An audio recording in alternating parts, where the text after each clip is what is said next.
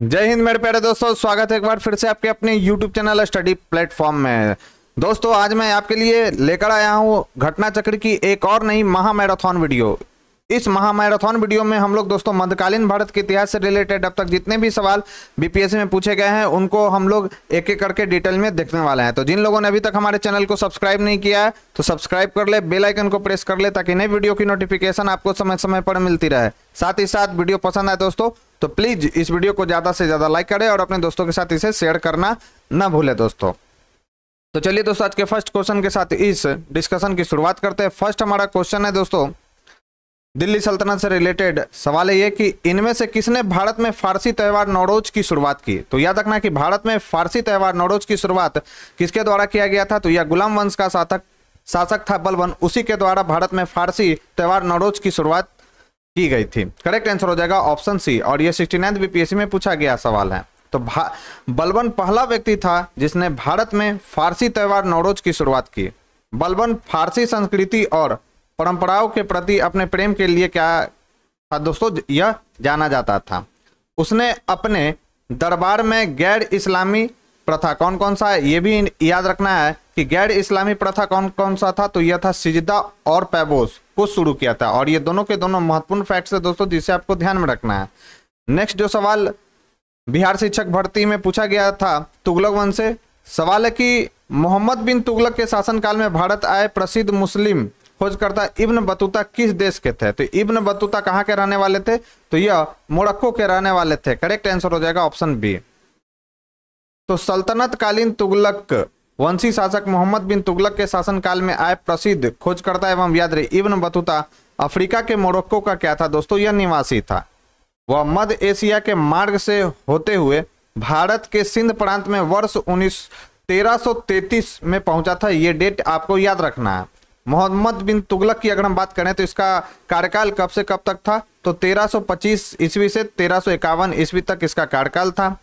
ने Ibn Battuta को दिल्ली का काजी यानी जज नियुक्त किया था तो यह भी मोस्ट वीवीआई फैक्ट है दोस्तों, जिसे आपको ध्यान में रखना है कि दिल्ली का काजी इब्न बतूता को किसने नियुक्त किया था? तो मोहम्मद बिन तुगलक ने इसे नियुक्त किया था। फिर सल्तनत कालीन विविध से सवाल पूछा गया था। मैथिली भाषा का विकास निम्नलिखित में से किसके शासन काल के दौरान शुरू हुआ? तो याद रखना, यह कर्नाट राजवंश के अंतर्गत क्या हुआ था? मैथिली भाषा का विकास शुरू हुआ था। करेक्ट आंसर हो जाएगा ऑप्शन सी। तो डॉक्टर राम प्रकाश वर्मा ने मैथिली के विकास की सबसे अच्छी अवधि 1206 से 1526 ईस्वी बताया है। इसी काल में ज्योतिश्वर और विद्यापति द्वारा मैथिली भाषा में सर्वश्रेष्ठ रचनाएँ की गई थी। इस दौरान मिथिला क्षेत्र में कर्नाट वंश या सिमराव वंश का शासन था। ये कर्नाट वंश और सिमराव वंश के बारे में याद रखना है। कब से कब तक ये था वंश? तो दस सौ संतानवे ईस्वी से तेरह सौ पच्चीस ईस्वी तक कर्नाट वंश का शासन था याद रखना है आपको। नेक्स्ट है, पंद्रहवीं और सोलहवीं शताब्दी के धार्मिक आंदोलन से रिलेटेड सवाल। सवाल है कि नाथपंथियों, सिद्धों और योगियों ने भक्ति धर्म को किस क्षेत्र में लोकप्रिय बनाया? तो याद रखना है, उत्तर भारत में नाथपंथियों, सिद्धों और योगियों योगियों ने भक्ति धर्म को क्या किया था दोस्तों? लोकप्रिय बनाया था। करेक्ट आंसर हो जाएगा ऑप्शन ए इंपॉर्टेंट फैक्ट्स देखते हैं दोस्तों। तो नाथपंथियों, सिद्धों और योगियों ने भक्ति धर्म को उत्तर भारत में लोकप्रिय बनाया। नाथपंथी, सिद्ध और योगी दुनिया के त्याग में विश्वास करते थे। उन्होंने पारंपरिक धर्म और सामाजिक व्यवस्था के अनुष्ठान और अन्य पहलुओं की क्या की थी? आलोचना की थी। उनके अनुसार निराकार परमात्मा का ध्यान तथा उसके साथ एक हो जाने का एहसास मुक्ति का मार्ग है। नेक्स्ट सवाल है, मुगल साम्राज्य से रिलेटेड सवाल है कि फतुआते आलमगिरी किसके द्वारा लिखी गई थी? तो फतुआते आलमगिरी जो है, वह किसके द्वारा लिखी गई थी दोस्तों? तो ईश्वर दास नागर के द्वारा यह लिखा गया है, फतुआत ए आलमगिरी। करेक्ट आंसर हो जाएगा ऑप्शन ए तो फतुआत ए आलमगिरी ईश्वर दास नागर द्वारा लिखी गई थी। इसमें सोलह ईस्वी तक के औरंगज़ेब के शासनकाल की कुछ महत्वपूर्ण घटनाएँ शामिल है। आपसे यह भी पूछ सकता है कि आलमगीर की उपाधि किस मुगल शासक ने धारण किया था? तो वह कौन था? औरंगज़ेब। ज़िंदा पीड़ किसे कहा जाता है? तो ज़िंदा पीड़ किसे कहा जाता है? औरंगज़ेब को कहा जाता है। आपको कमेंट बॉक्स में यह बताना कि अकबर ने जजिया कर को कब समाप्त किया था? नेक्स्ट है, निम्नलिखित में से किस बंदरगाह को मुगल काल के दौरान बाबुल मक्का यानी मक्का का द्वार कहा जाता था। तो मक्का का द्वार किसे कहा जाता था? तो यह कहा जाता था सूरत बंदरगाह को। करेक्ट आंसर हो जाएगा ऑप्शन बी तो सूरत बंदरगाह को मुगल काल के दौरान बाबुल मक्का या मक्का का द्वार कहा जाता था, क्योंकि मक्का की तीर्थ यात्रा सूरत से शुरू होती थी। सूरत गुजरात का प्रमुख शहर है। यह अपने वस्त्र के लिए, वस्त्रों के लिए जाना जाता है। मध्यकाल के दौरान यह एक महत्वपूर्ण बंदरगाह था। इसे पश्चिमी एशिया के प्रवेश द्वार के रूप में भी जाना जाता है तो यह भी पॉइंट आपको ध्यान में रखना है। नेक्स्ट जो सवाल है, निम्नलिखित कथनों पर विचार कीजिए। भारत में बाबर के आगमन का क्या कारण हुआ यह आपसे पूछा जा रहा है। तो उपमहाद्वीप में बारूद का आगमन हुआ तो उपमहाद्वीप में बारूद का आगमन जो है दोस्तों, बाबर के आगमन से पूर्व ही हो चुका था, याद रखना है। क्षेत्र की वास्तुकला में मेहराब और गुंबद का परिचय हुआ, ये आपसे पूछा जा रहा है। तो क्षेत्र की वास्तुकला में मेहराब और गुंबद का परिचय पहले ही हो चुका था, ये भी नहीं होगा। प्रदेश में तैमुरिड राजवंश की स्थापना हुई तो यह बिल्कुल सही है, और युद्धों में तोप की शुरुआत हुई, भारत का बाबर के आगमन से यह स्टेटमेंट इसमें सही दिया गया है। तो करेक्ट आंसर हो जाएगा केवल थ्री और फोर करेक्ट आंसर हो जाएगा ऑप्शन सी तो बाबर के आगमन के कारण भारत में तैमूर वंश की स्थापना हुई एवं युद्धों में तोप की शुरुआत हुई। क्षेत्र की वास्तुकला में मेहराब और गुंबद तुर्कों द्वारा मोहम्मद गौरी के आक्रमण के बाद प्रचलन में आए थे, याद रखना बाबर का जन्म कब हुआ था, ये डेट याद रखना है। चौदह फरवरी चौदह को मध्य एशिया के फरगना नामक स्थान पर हुआ था। बाबर ने काबुल पर अधिकार करने के बाद भारत पर चार आरंभिक आक्रमण किए थे। नेक्स्ट है सवाल, मराठा राज्य और संघ से रिलेटेड अष्ट प्रधानमंत्री परिषद थी। तो यह मराठा प्रशासन की मंत्री परिषद थी अष्ट प्रधान। अष्ट दिग्गज की अगर हम बात करें तो अष्ट दिग्गज किसमें था? तो यह था किसमें तो कृष्णदेव राय के दरबार में रहते थे, आठ दिग्गज याद रखना है। अष्ट प्रधान की बात करें तो यह किससे जुड़ा हुआ है? तो यह मराठा प्रशासन से जुड़ा हुआ है तो यह भी पॉइंट आपको ध्यान में रखना है। तो मराठा प्रशासन में शिवाजी की सहायता और परामर्श के लिए आठ मंत्रियों की एक परिषद थी, इसे अष्ट प्रधान परिषद कहा जाता था। अष्ट प्रधान परिषद का प्रत्येक मंत्री अपने विभाग का प्रमुख था। वह शिवाजी द्वारा नियुक्त होता था एवं अपने कार्यों के लिए वह शिवाजी के प्रति क्या था? उत्तरदायी था। ये मंत्री शिवाजी के उच्च सचिव के समान थे, लेकिन शिवाजी मंत्रियों से परामर्श लेने के लिए बाध्य नहीं थे। शिवाजी ने किसी भी मंत्री को अनुवांशिक नहीं होने दिया। शिवाजी के अष्ट प्रधान मंत्री परिषद निम्न थे। कौन कौन सा याद रखना है आपको? तो पेशवा अथवा मुख्य प्रधान यह राजा का प्रधानमंत्री था। अमात, जिसे हम लोग पंत अथवा मजुमदार के भी नाम से जानते हैं, ये वित्त एवं राजस्व मंत्री था। वाक्यान्विश जो था, वह मंत्री था वो कौन सा मंत्री था? तो याद रखना, वर्तमान गृह मंत्री कहलाता था वाक्यान्विश ये सभी के सभी जो है दोस्तों इंपॉर्टेंट फैक्ट से याद रखना है, मराठा प्रशासन से रिलेटेड सुमंत, जिसे दबीर भी कहा जाता था, वर्तमान विदेश मंत्री था ये।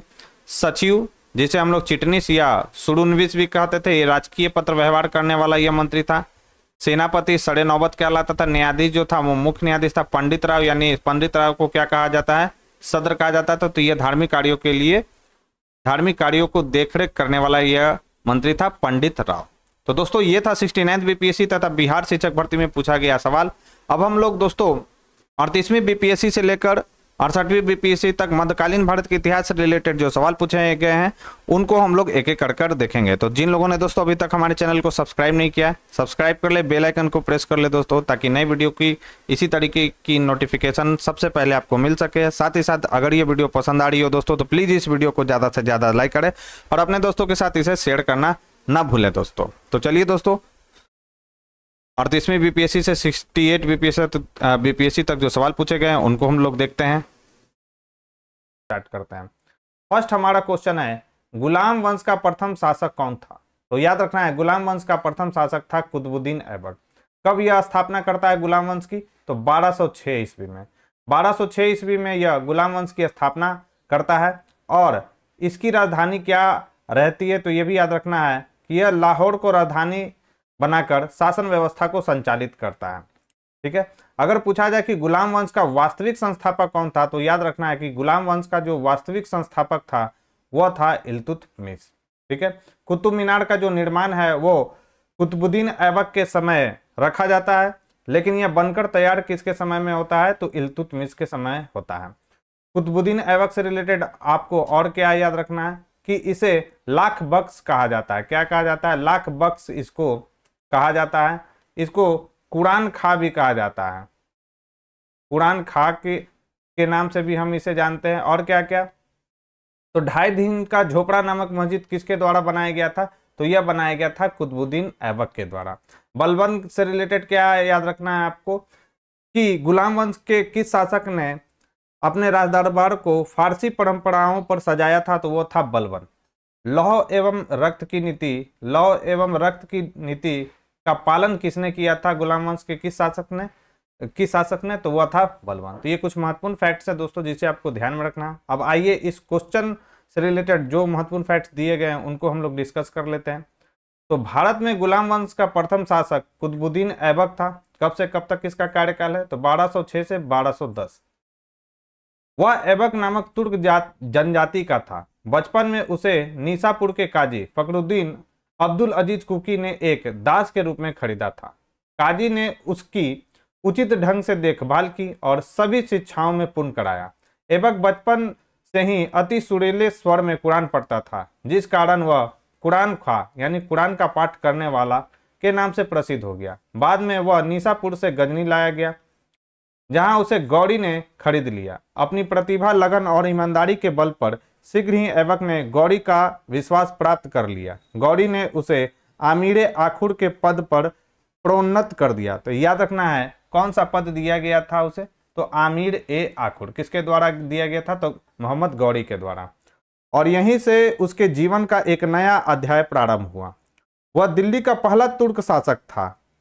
यद्यपि वह लाहौर से ही शासन करता था, उसी को भारत में तुर्की राज का संस्थापक भी माना जाता। है गौरी की मृत्यु के बाद लाहौर के नागरिकों द्वारा आमंत्रित करने पर वहाँ पहुंचकर शासन सत्ता अपने हाथ में लिया। यद्यपि उसने अपना राज्यभिषेक गौरी की मृत्यु के तीन माह पश्चात, यानी जून 1206 में कराया था। ऐबक ने कभी सुल्तान की उपाधि धारण नहीं की। तो ये याद रखना है कि ऐबक जो था, उसने कभी भी सुल्तान की उपाधि धारण नहीं की थी। उसने केवल मलिक और सिपा सलार की पदवी से ही अपने को संतुष्ट रखा। याद रखना है कि सुल्तान की उपाधि ये नहीं धारण करता है, बल्कि मोहम्मद गौरी के द्वारा इसे पद दिया जाता है मलिक और सिपा सलार। इसी पद से यह खुश रहता है। गौरी के उत्तराधिकारी गियासुद्दीन द्वारा मुक्ति पत्र मुक्ति पत्र प्राप्त करने के बाद नियम पूर्वक 1208 ईस्वी में ऐबक को दास्ता से क्या मिली थी? मुक्ति मिली थी। तो ये कुछ महत्वपूर्ण फैक्ट्स हैं, जिसे आपको ध्यान में रखना है। नेक्स्ट है, कुतुबुद्दीन ऐबक की राजधानी थी तो कुतुबुद्दीन ऐबक की राजधानी थी लाहौर। नेक्स्ट है, ढाई दिन का झोपड़ा क्या है? तो अभी मैंने आपको बताया था कि ढाई दिन का झोपड़ा क्या था? तो यह एक मस्जिद है। राइट आंसर हो जाएगा ऑप्शन ए तो अपनी उदारता के कारण कुतुबुद्दीन ऐबक इतना अधिक दान करता था कि उसे लाख बक्स यानी लाखों का दान देने वाला कहा जाता था। फरिश्ता ने लिखा है कि यदि व्यक्ति किसी की दानशीलता की प्रशंसा करते थे तो उसे अपने युग का एवक पुकारते थे। उसकी एक उपाधि कुरान ख्वा भी थी। ऐबक को साहित्य से अनुराग था और स्थापत्य कला में भी रुचि थी। तत्कालीन विद्वान हसन निजामी और फक्र फक्र ए मुद्दबीर को उसका संरक्षण प्राप्त था। उन्होंने ऐबक को अपने ग्रंथ समर्पित किए थे। हसन निजामी ने ताज उल मासिर, ये याद रखना है ये काफ़ी इंपॉर्टेंट बुक है। ताज उल मासिर किसने लिखा है? तो हसन निजामी ने। की रचना की। ऐबक ने दिल्ली में कुब्बत उल इस्लाम, याद रखेंगे। और अजमेर में ढाई दिन का झोपड़ा अजमेर में ढाई दिन झो, नामक झोपड़ा क्या है? तो यह एक मस्जिद का निर्माण कराया था। उसने दिल्ली में स्थित कुतुब मीनार का निर्माण कार्य प्रारंभ किया जिसे इल्तुतमिश ने क्या किया था? पूरा करवाया था। नेक्स्ट है कुतुब मीनार किसने किसके द्वारा पूरा किया गया था? तो कुतुब मीनार जो है इल्तुतमिश के द्वारा पूरा किया गया था। स्टार्ट किसके समय में हुआ था? तो यह कुतुबुद्दीन ऐबक के समय में स्टार्ट हुआ था। नेक्स्ट है, भारत में मोहम्मद गौरी ने किसको प्रथम अक्ता प्रदान किया था? तो वह था कुतुबुद्दीन ऐबक राइट आंसर हो जाएगा ऑप्शन बी तो गौरी की विजयों के बाद शीघ्र ही उत्तर भारत में अक्ता प्रथा स्थापित हो गई। गौरी के गोड़ के मोहम्मद शाम यानी मोहम्मद गौरी ने मोह, कुतुबुद्दीन ऐबक को ग्यारह सौ इक्यानवे ईस्वी में हांसी अक्ता यानी अक्ता को क्या कहा जाता है? इक्ता। इक्ता का अर्थ क्या होता है? प्रांत। प्रदान किया।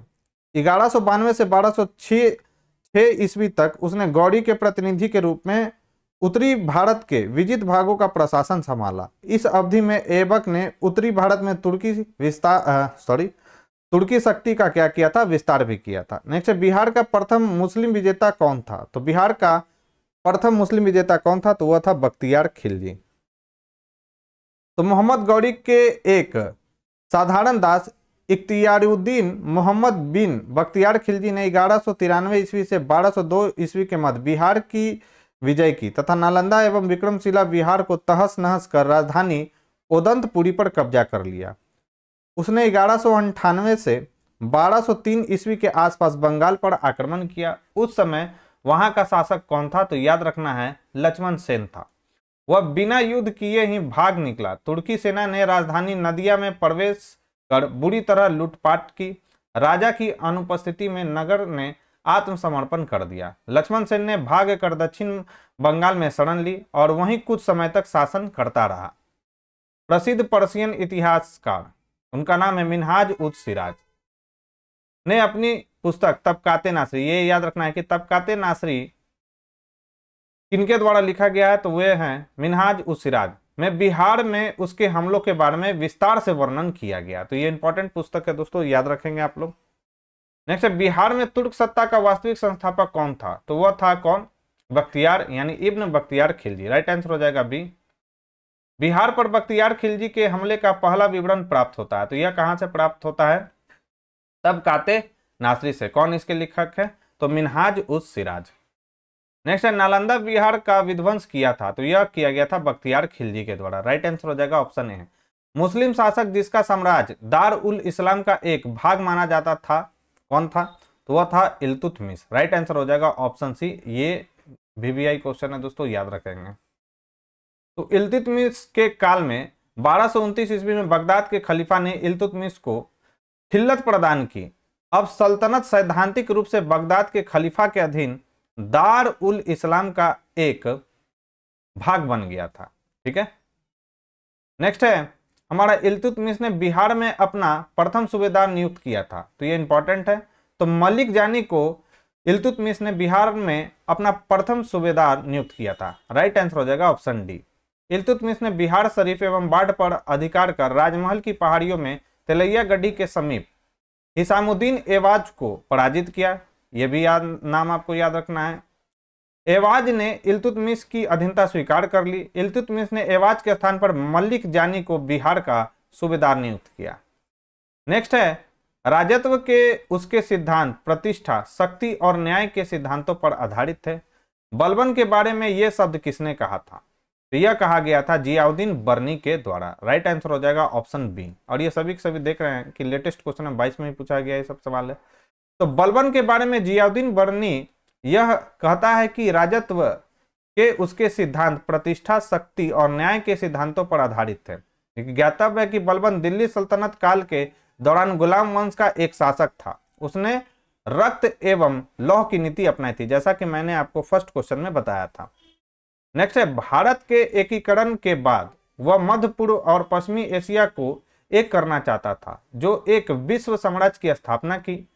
और एक महत्वपूर्ण कदम था। आरपी त्रिपाठी ने मुगल कालीन भारत के किस सम्राट के बारे में यह लिखा है? तो यह लिखा है अकबर के बारे में। राइट आंसर हो जाएगा ऑप्शन सी तो आरपी त्रिपाठी मुगल कालीन सम्राट अकबर के बारे में यह लिखते हैं कि भारत के एकीकरण के बाद वह मध्य पूर्व एवं पश्चिमी एशिया को एक करना चाहता था, जो एक विश्व साम्राज्य की स्थापना की ओर एक महत्वपूर्ण कदम था। अलाउद्दीन दिल्ली का प्रथम तुर्की सुल्तान था, जिसे धर्म को राज्य के अधीन लाने का और ऐसे घटकों से परिचय कराने का श्रेय जाता है जो सैद्धांतिक रूप में राज्य को धर्मनिरपेक्ष बनाते हैं। ये शब्द किसने लिखे हैं? तो यह लिखा है किसने? तो ए एल श्रीवास्तव ने। राइट आंसर हो जाएगा ऑप्शन सी। तो ए एल श्रीवास्तव अलाउद्दीन खिलजी के बारे में लिखते हैं कि अलाउद्दीन दिल्ली का प्रथम तुर्की सुल्तान था जिसे धर्म को राज्य के अधीन लाने का और ऐसे घटकों से परिचय कराने का श्रेय जाता है जो सैद्धांतिक रूप में राज्य को धर्मनिरपेक्ष बनाते हैं।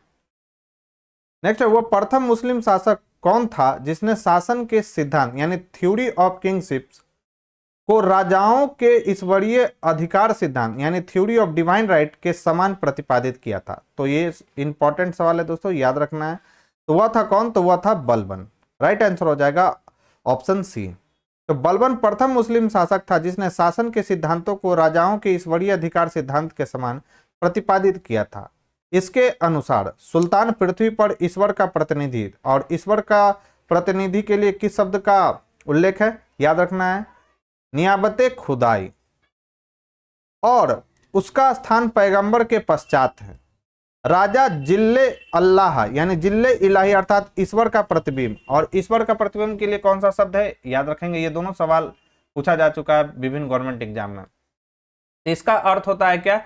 ईश्वर का प्रतिबिंब का अर्थ है जिल्ले इलाही, और ईश्वर का प्रतिनिधि का अर्थ क्या है?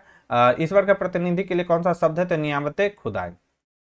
उसने पुत्र बुगड़ा खा से कहा था, सुल्तान का पद निरंकुशता का सजीव क्या है? प्रतीक है।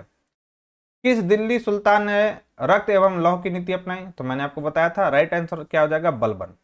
बलबन के विषय में कहा गया कि उसने रक्त और लौह की नीति अपनाई थी। बलबन के राजत्व सिद्धांत की दो मुख्य विशेषताएँ थी। प्रथम, सुल्तान का पद ईश्वर के द्वारा प्रदत्त होता था और द्वितीय, सुल्तान का निरंकुश होना आवश्यक है। उसके अनुसार सुल्तान पृथ्वी पर ईश्वर का प्रतिनिधि, यानी नियामत खुदाई है।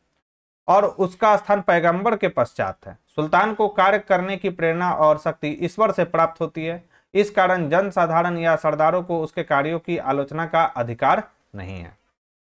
नेक्स्ट है, तुगड़िल खान ने किसके शासनकाल के दौरान विद्रोह किया था? तो तुगड़िल खान ने बलबन के शासनकाल के दौरान विद्रोह किया था। तो तुगड़िल खान ने बंगा बलबन के काल में विद्रोह किया था। यह विद्रोह बंगाल में अमीन खान खान की नियुक्ति के विरोध में हुआ था। कालांतर में बलबन ने बलबन के बंगाल अभियान से डरकर तुगड़िल खान क्या हुआ था तो भाग गया था। जब उसने राजत्व प्राप्त किया तो वह शरीयत के नियमों और आदेशों से पूर्णतः स्वतंत्र था। बर्नी ने यह कथन किस सुल्तान के लिए कहा है? तो यह कहा गया है अलाउद्दीन खिलजी के बारे में। बर्नी ने यह कथन किसके लिए कहा है? तो अलाउद्दीन खिलजी। जलाउद्दीन बर्नी ने उक्त कथन अलाउद्दीन खिलजी के लिए कहा है। अलाउद्दीन दिल्ली का पहला सुल्तान था जिसने धर्म पर राज्य का नियंत्रण स्थापित किया। इस संदर्भ में अपनी नीति की व्याख्या करते हुए करते हुए वह स्वयं कहता है कि मैं नहीं जानता कि कानून की दृष्टि से क्या उचित है और क्या अनुचित। मैं राज्य की भलाई अथवा अवसर विशेष के लिए जो उपयुक्त समझता हूँ, उसी को करने की आज्ञा दे, आज्ञा देता हूँ। अंतिम न्याय के दिन मेरा क्या होगा, मैं नहीं जानता। अलाउद्दीन ने राजपथ के विषय में बलबन के विचार को पुनः जीवित किया। वह राजा की सार्वभौमिकता में विश्वास रखता था, जो पृथ्वी पर ईश्वर का प्रतिनिधि मात्र है। उसने अपनी शक्ति की वृद्धि के विषय में खलीफा की अनुमति लेना आवश्यक नहीं समझा। इसलिए उसने खलीफा से अपने पद की मान्यता प्राप्त करने के संबंध में कोई याचना नहीं की। उसने अपने आप को यामिन उल खिलाफत नासरी, अमीर उल मुमनिन बताया। इस प्रकार अलाउद्दीन खिलजी दिल्ली का पहला सुल्तान था, जिसने धर्म को राजनीति में हस्तक्षेप नहीं करने दिया। तो ये इंपॉर्टेंट फैक्ट है दोस्तों, ध्यान में रखना आपको। अलाउद्दीन उलेमा वर्ग के प्रभाव से क्या था? तो मुक्त रहा था। नेक्स्ट है, इनमें से किसने खलीफा की शक्ति का विरोध किया? तो राइट आंसर हो जाएगा ऑप्शन ई अब देखते हैं क्या है। तो विकल्पगत किसी भी सुल्तान ने खलीफा की शक्ति का विरोध नहीं किया। यानी इसका राइट आंसर क्या हो जाएगा? इनमें से कोई नहीं। इल्तुतमिश ने खलीफा से मान्यता मान्यता प्राप्त ज़रूर की थी, परंतु बंगाल के सुल्तान गयासुद्दीन ने भी खलीफा से मान्यता प्राप्त की थी। जिस पर आक्रमण कर इल्तुतमिश ने एक तरीके से खलीफा की सत्ता का विरोध भी किया था। अलाउद्दीन खिलजी, बलबन और मोहम्मद बिन तुगलक सभी व्यवहारिक रूप से स्वतंत्र शासक ही थे, लेकिन किसी ने खलीफा की शक्ति या सत्ता का विरोध नहीं किया था तो इंपॉर्टेंट ये क्वेश्चन हो जाता है। केवल मुबारक खिलजी था जिसने स्वयं को खलीफा की उपाधि ली थी। इस तरह उसने खलीफा की सत्ता का विरोध किया था। नेक्स्ट है, अलाउद्दीन खिलजी के प्रसिद्ध सेनापतियों में से किसकी मंगोलों के विरुद्ध लड़ते हुए मृत्यु होगी तो वह था ज़फ़र खा। राइट आंसर हो जाएगा ऑप्शन ए तो अलाउद्दीन का प्रसिद्ध सेनापति ज़फ़र खा मंगोलों के विरुद्ध लड़ता हुआ मारा गया। जो अपने समय का श्रेष्ठ और साहसी सेनापति था। ज़फ़र खा के शौर्य और भारतीय सेना की दृढ़ता से मंगोल इतने प्रभावित हुए कि वे उसी रात को तीस कोस पीछे हट गए और वापस चले गए। नेक्स्ट है, इनमें से किसने हुमायूं को यह प्रस्ताव दिया था कि यदि उसे बंगाल पर अधिकार करने दिया जाए तो वह बिहार को समर्पित कर देगा और 10 लाख दिनार की वार्षिक श्रद्धांजलि अर्पित करेगा। तो यह किसके द्वारा कहा गया था? तो यह कहा गया था शेर खान के द्वारा। राइट आंसर हो जाएगा ऑप्शन बी ये अड़सठवीं बीपीएससी में पूछा गया सवाल है। तो ये इंपॉर्टेंट है लेटेस्ट क्वेश्चन है। बंगाल अभियान के समय शेर खान ने हुमायूं को यह प्रस्ताव दिया था कि वह बिहार हुमायूं को सौंप देगा, यदि उसे बंगाल पर अधिकार करने दिया जाए। साथ ही वह दस लाख दिनार का वार्षिक श्रद्धांजलि भी अर्पित करेगा। नेक्स्ट है, रानी पद्मनी का नाम अलाउद्दीन की चित्तौड़ विजय से जोड़ा जाता है। उनके पति का नाम है तो उनके पति का नाम है राणा रतन सिंह। राइट आंसर हो जाएगा ऑप्शन बी तो पद्मिनी की कहानी का आधार 1540 ईस्वी में मल्लिक मोहम्मद जैसी द्वारा लिखित काव्य पुस्तक पद्मावत है। इसके अनुसार पद्मिनी चित्तौड़ के राणा रतन सिंह की अत्यंत सुंदर और विदुषी पत्नी थी। अमीर खुसरो ने सुलेमान और रानी सैबा के प्रेम प्रसंग का उल्लेख अपने ग्रंथ में किया था। और उसने अपने संकेतकों में अलाउद्दीन की समता सुलेमान से तथा पद्मिनी की तुलना सैबा से की थी। संभाव्यता इसी आधार को मानकर मलिक मोहम्मद जैसी ने पद्मावत की रचना की और राणा रतन सिंह की रानी पद्मिनी की कहानी बनी। अलाउद्दीन खिलजी के आक्रमण के समय देवगिरी का शासक कौन था? इंपॉर्टेंट सवाल है। तो अलाउद्दीन खिलजी के आक्रमण के समय देवगिरी का शासक था रामचंद्र देव। राइट आंसर हो जाएगा ऑप्शन ए अलाउद्दीन के आक्रमण के समय देवगिरी का शासक रामचंद्र देव था।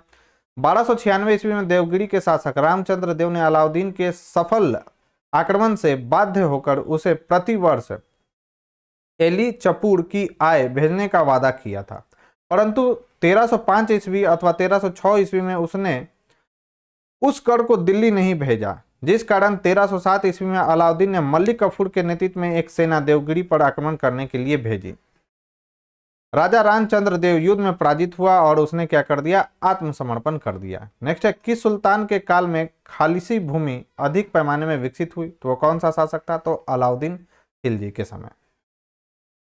अलाउद्दीन की राजस्व और लगान व्यवस्था का मुख्य उद्देश्य एक शक्तिशाली और निरंकुश राज्य की स्थापना करना था। उसने उन सभी व्यक्तियों से भूमि छीन ली जिन्हें वह मिलकर, यानी राज्य द्वारा प्रदत्त संपत्ति, इनाम, इंदरात, पेंशन तथा वक वक वक्फ भूमि कौन सा होता था? तो धर्मांत प्राप्त हुई भूमि को जो दिया जाता था, भूमि जो दिया जाता धर्म को बढ़ाने के लिए जो भूमि दिया जाता था तो वह उसे वक्फ भूमि कहा जाता था। आदि के रूप में मिली थी। फलता खालसी भूमि अधिक पैमाने पर विकसित हुई। नेक्स्ट अलाई दरवाज़ा का निर्माण किस सुल्तान ने कराया था? इंपॉर्टेंट है तो अलाई दरवाज़ा का निर्माण कराया था अलाउद्दीन खिलजी ने। अलाई दरवाज़ा का निर्माण सुल्तान अलाउद्दीन खिलजी ने कुतुब मीनार के निकट करवाया। इसका निर्माण लाल पत्थरों तथा संगमरमर संगमरमर के द्वारा हुआ। यह तेरह सौ ग्यारह ईस्वी में बनकर तैयार हुआ। इल्तुतमिश के मकबरे की तरह इसमें एक चकोर बड़ा कमरा है, जिसकी छत पर एक गुंबद है और इसकी चारों दीवारों में एक मेहराबदार प्रवेश द्वार है। दिल्ली के किस सुल्तान ने सबसे ज़्यादा नहरों का निर्माण कराया था? तो याद रखना है, दिल्ली के किस सुल्तान ने सबसे ज़्यादा नहरों का निर्माण कराया था? तो वो था फिरोज शाह तुगलक। ठीक है? अब फिरोज शाह तुगलक से रिलेटेड आपको याद क्या रखना है? कि दिल्ली सल्तनत के अंतर्गत एकमात्र ऐसा बादशाह था फिरोज शाह तुगलक, जिसने अपनी आत्मकथा, याद रखना है, जिसने अपनी आत्मकथा स्वयं लिखी थी। ये इससे रिलेटेड और उसका नाम क्या है? तो उसका नाम है फतुआते फिरोज शाही। फतुआते फिरोज शाही जो है, फिरोज शाह तुगलक की आत्मकथा है, याद रखना और यह दिल्ली सल्तनत का एकमात्र ऐसा सुल्तान हुआ है जिसने अपनी आत्मकथा स्वयं लिखी है, ठीक है? तो इस क्वेश्चन का अगर हम बात इस क्वेश्चन की अगर हम बात करें तो इसका राइट आंसर हो जाएगा ऑप्शन ए तो फिरोज शाह तुगलक का शासनकाल भारत में नहरों के सबसे बड़े जाल का निर्माण करने के कारण प्रसिद्ध रहा। सिंचाई की सुविधा के लिए उसने पाँच बड़ी नहरों का निर्माण कराया। फिरोज शाह तुगलक उलेमा वर्ग की स्वीकृति के पश्चात हक ए सर्व। नामक सिंचाई कर लगाने वाला दिल्ली का प्रथम सुल्तान था। तो ये इंपॉर्टेंट है कि हक ए सर्ब नामक सिंचाई कर लगाने वाला दिल्ली का प्रथम सुल्तान कौन था? तो वो था फिरोज तुगलक। उन किसानों को जो सिंचाई के लिए शाही नहरों का पानी प्रयोग में लाते थे, अपनी पैदावार का एक बट्टा दस भाग सरकार को देना पड़ता था। याद रखेंगे, फिरोज तुगलक द्वारा स्थापित दार उल सफ़ा क्या था? तो यह एक क्या था? तो यह था एक खैराती अस्पताल। राइट आंसर हो जाएगा ऑप्शन बी तो राज्य के खर्च पर हज हज की व्यवस्था करने वाला पहला भारतीय शासक फिरोज तुगलक था याद रखेंगे। उसने दार उल सफ़ा नामक एक खैराती अस्पताल की स्थापना भी की थी की और उसने कुशल हकीम रखे। उसमें क्या रखा था उसने? कुशल हकीम को। निम्नलिखित में से किस सुल्तान ने बेरोजगारों को रोज़गार दिलवाया? तो वह था फिरोज शाह तुगलक। अब काफ़ी अच्छे अच्छे काम किया आ, किया गया था फिरोज शाह तुगलक के द्वारा। फिरोज शाह तुगलक ने सामान्य लोगों की भलाई के लिए कुछ उपकार के कार्य किए। नियुक्ति के लिए एक दफ्तर यानी रोज़गार दफ्तर खोलकर तथा प्रत्येक मनुष्य के गुण एवं योग्यता की पूरी जाँच पड़ताल के बाद यथासंभव अधिक से अधिक लोगों को नियुक्ति देकर उसने बेकारी की समस्या को हल करने का क्या किया था, प्रयास किया था। नेक्स्ट निम्नलिखित में से किस सुल्तान के दरबार में सबसे अधिक गुलाम थे? तो वो कौन था? फिरोज तुगलक। गुलामों के लिए इसने अलग विभाग ही बना दिया था। उसका नाम था दीवाने। बदगान आगे डिस्कस करते हैं हम लोग इसमें। फिरोज तुगलक को दासों का बहुत फिरोज तुगलक को दासों का बहुत शौक था। उसके समय दासों की संख्या संभवतः एक लाख अस्सी हज़ार तक पहुँच गई थी। उसकी देखभाल के लिए एक पृथक, यानी अलग विभाग बनाया था, जिसे दीवाने बंदगन कहा जाता है, का गठन किया गया था। उस दासों की शिक्षा का पूर्ण ध्यान रखा जाता था। उन दासों की जो है, शिक्षा का क्या रखा जाता था? पूर्ण ध्यान रखा जाता था। निम्नलिखित में से किस सुल्तान ने फलों की गुणवत्ता सुधारने के लिए उपाय किए? तो वो था फिरोज तुगलक। फिरोज तुगलक बागवानी में अपनी अभिरुचि के कारण दिल्ली के निकट लगभग 1200 नए बाग लगवाए तथा अलाउद्दीन के 30 पुराने बागों को फिर से लगवाया। नेक्स्ट है, फारसी यात्री अब्दुल रजाक भारत में किस राजा के शासनकाल में आया था? तो यह आया था देवराय द्वितीय के शासनकाल में। तो फारसी राजा अब्दुल रजाक संगम वंश के प्रथम संगम वंश के सबसे प्रतापी शासक देवराय द्वितीय। कब से कब तक इनका कार्यकाल है? तो 1422 से 1446 के शासनकाल में विजयनगर आया था। उसने अपने यात्रा वृतांत क्या नाम है? मतला उस सदाइन व मजम उल बहरी में देवराय द्वितीय के शासनकाल का वर्णन किया है।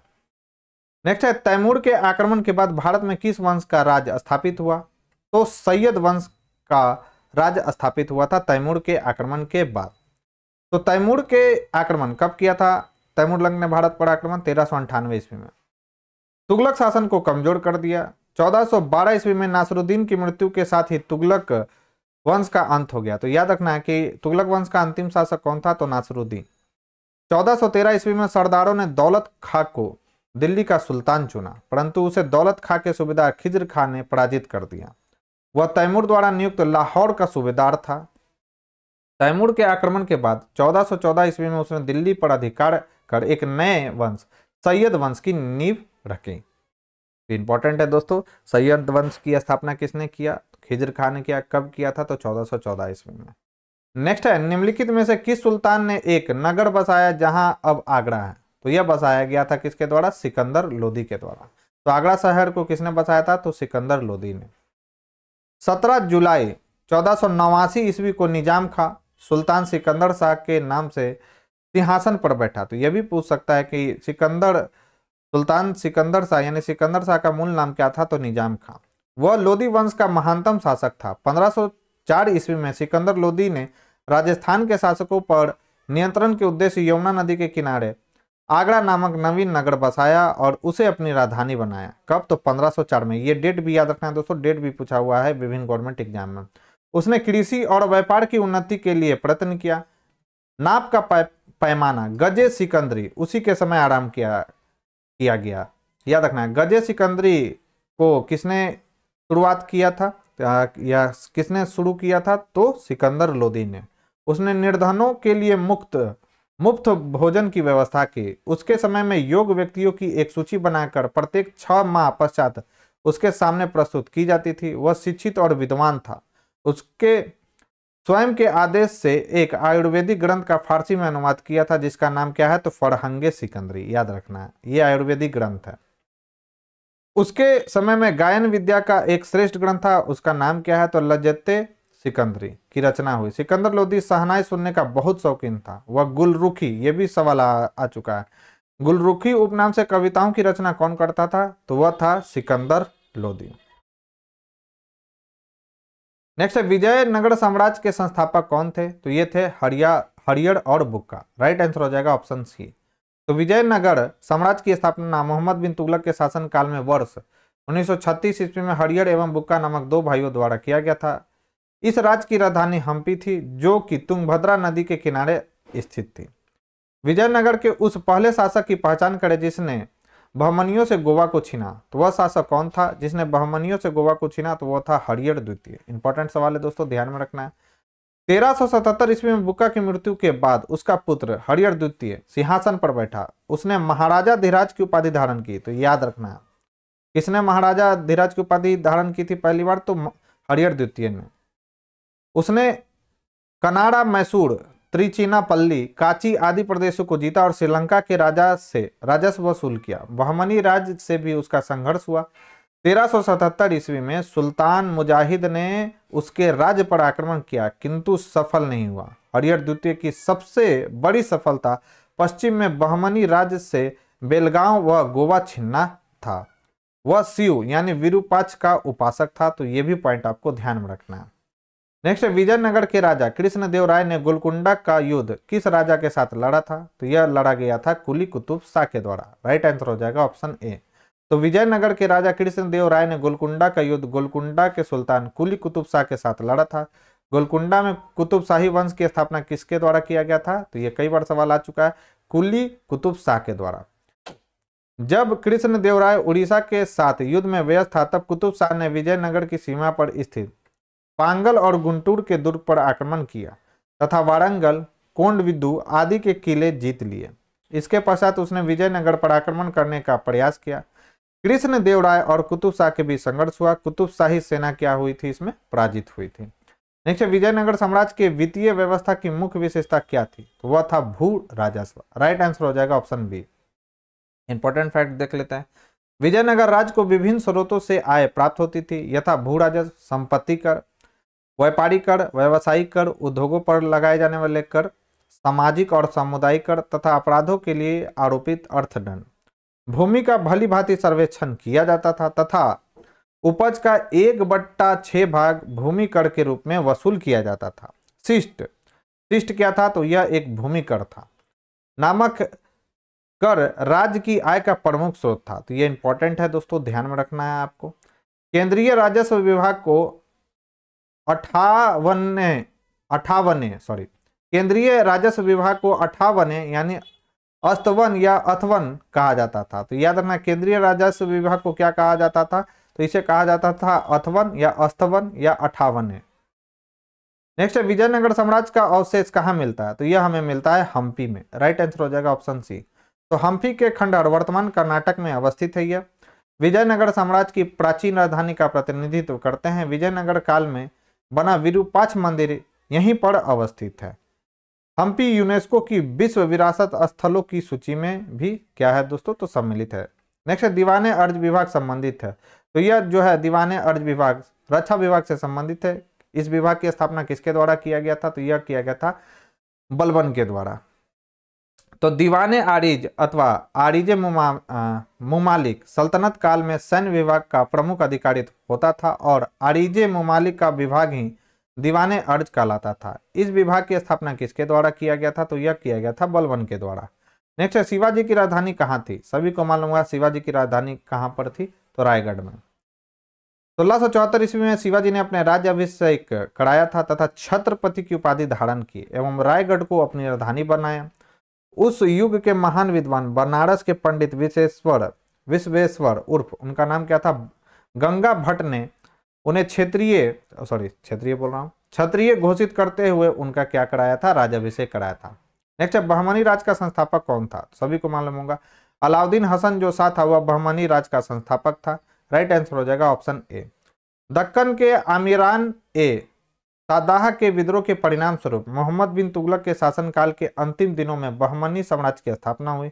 ज़फ़र खां, जिसे हम लोग हसन गंगू के नाम से भी जानते हैं, नामक एक सरदार ने अलाउद्दीन हसन बहमन शाह की उपाधि धारण कर तेरह ईस्वी में सिंहासन रूढ़ हुआ और बहमनी साम्राज्य की नींव डाली। उसने गुलबर्गा को अपने नौ संस्थापित साम्राज्य की राजधानी बनाई। तो याद रखना है बहमनी राज की राजधानी क्या था? तो गुलबर्गा गुलबर्गा था। किसने इसको राजधानी बनाया था? तो वह था अलाउद्दीन हसन बहमन शाह। तथा उसका नाम क्या रखा था? तो अहसानाबाद तो याद रखें, गुलबर्गा का नाम क्या था? तो वह था अहसानाबाद अपने साम्राज्य के शासन काल के लिए उसने उसे चारों तरफ़ अथवा प्रांतों में विभाजित किया। गुलबर्गा, दौलताबाद, बराड़ और बीदर। प्रत्येक प्रांत का एक शासक के अधीन था। गुलबर्गा का प्रांत सबसे महत्वपूर्ण था। इसमें बीजापुर भी क्या था, सम्मिलित था। दक्षिण के हिंदू शासकों को उसने अपने अधीन किया तथा अपने अनुयायियों को पद और जागीर प्रदान करने की नई प्रथा प्रारंभ की। उसने हिंदुओं से जजिया न लेने का आदेश दिया था। तो यह भी पॉइंट याद रखना है हसन गंगूज से। नेक्स्ट है, सड़नजामी प्रथा किससे संबंधित थी? इंपॉर्टेंट है दोस्तों। तो सड़नजामी जो प्रथा है, वह मराठा भू राजस्व प्रथा है। उसी से यह संबंधित है। तो मराठा काल में सरंजामी प्रथा भू राजस्व प्रथा से संबंधित थी। इस काल में मराठा जागीरदारों को सरंजामी भूमि उनके निर्वहन के लिए प्रदान की जाती थी। नेक्स्ट, निम्नलिखित में से कौन भूमि उत्पाद पर लगने वाले कर को इंगित करता है? तो कौन करता है? तो याद रखना है, खराज और कौन करता है? उस्र और मुक्तई। खुम्स जो है, युद्ध में लूटा हुआ जो धन होता है, उसी को कहा युद्ध में लूटा गया युद्ध में लूटा गया धन को खुम्स या खम्स भी बोला जाता है इसको। राइट आंसर हो जाएगा ऑप्शन डी तो खराज, उस्र और मुक्तई, भूमि उत्पाद पर लगने वाले कर को इंगित करते हैं, जबकि खुम्स, भूमि उत्पाद पर लगने वाला कर नहीं था। अपितु, खुम्स जो था, लूट का धन था। खुम्स युद्ध में शत्रु राज्य की जनता से लूट में प्राप्त होता था इस लूट का चार बट्टा पाँच भाग सैनिकों में बांट दिया जाता था और शेष एक बट्टा पाँच भाग राजकोष में जमा होता था। किंतु अलाउद्दीन खिलजी क्या करता है इसको पलट देता है। और कौन? मोहम्मद बिन तुगलक। वह चार बट्टा पाँच भाग राजकोष में दिया तथा शेष एक बट्टा पाँच भाग क्या करता है? सैनिकों में बांटा था। सिकंदर लोदी ने गड़े हुए खजानों में कोई हिस्सा नहीं लिया तो ये याद रखना है। कि सुल्तान ने ज़मीन में फ़सल की नपाई का आधा राजस्व के रूप में दावा किया। तो वह कौन था? तो वह था अलाउद्दीन खिलजी। राइट आंसर हो जाएगा ऑप्शन सी अलाउद्दीन खिलजी दिल्ली सल्तनत का पहला सुल्तान था जिसने भू राजस्व नीति में कुछ परिवर्तन किए थे। उसने उपज का 50 प्रतिशत भू राजस्व के रूप में निश्चित किया, जिसे अनाज के रूप में लेने के लिए जोड़ दिया था, गया। इससे पूर्व बलबन और इल्तुतमिश ने भू राजस्व उपज की एक तिहाई दर से अधिक नहीं लिया था। मोहम्मद बिन तुगलक के काल में भी भूमि कर की दर अलाउद्दीन की भांति पचास पचास प्रतिशत ही थी। लेकिन जहाँ अलाउद्दीन खिलजी ने राजस्व निर्धारण, भूमि पैमान पैमाइश के आधार पर किया था, वहीं मोहम्मद बिन तुगलक ने बिना पैमान, पैमाइश के अनुमान के आधार पर राजस्व निर्धारण किया था। यद्यपि इस प्रश्न में विकल्प सी और डी दोनों सही है, किंतु बिहार लोक सेवा आयोग ने अंतिम उत्तर में सी को क्या माना है? सही माना है। नेक्स्ट है, शेख बहाउद्दीन जकारिया किस संप्रदाय के थे। तो ये थे सुहरवर्दी संप्रदाय के। राइट आंसर हो जाएगा ऑप्शन ए तो भारत में सुहरवर्दी संप्रदाय शेख बहाउद्दीन जकारिया से प्रारंभ हुआ। सूफियों के इस संप्रदाय में शेख सफरुद्दीन आरिफ, शेख रुकमुद्दीन अब्दुल फतह और शेख जलालुद्दीन सुर्ख आदि हुए। इस संप्रदाय के संत सुखमय जीवन पर बल देते थे। धन और संपत्ति को साधना में बाधक नहीं मानते थे। कौन? तो सुहरवर्दी संप्रदाय के सूफी।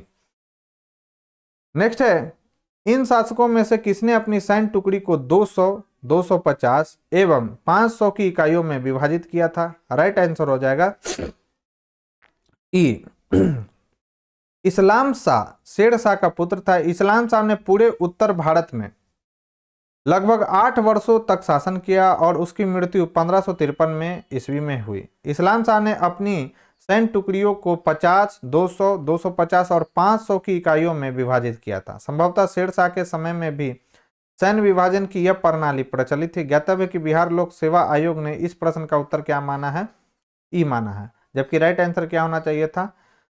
कि आ, आ, सही माना ही है क्योंकि यह जो है शेरशाह का बेटा कौन था? इस्लाम शाह। तो इसके समय में भी यह प्रचलन में था तो ज़ाहिर सी बात है कि शेरशाह के समय में भी यह प्रचलन में होगा इसलिए इसका राइट आंसर हो जाएगा उपयुक्त में से एक से अधिक। जवाबित का संबंध किससे था? इंपॉर्टेंट है तो राज कानून से। जवाबित जो था वो राज कानून से संबंधित था। नेक्स्ट है, सल्तनत काल के सिक्के।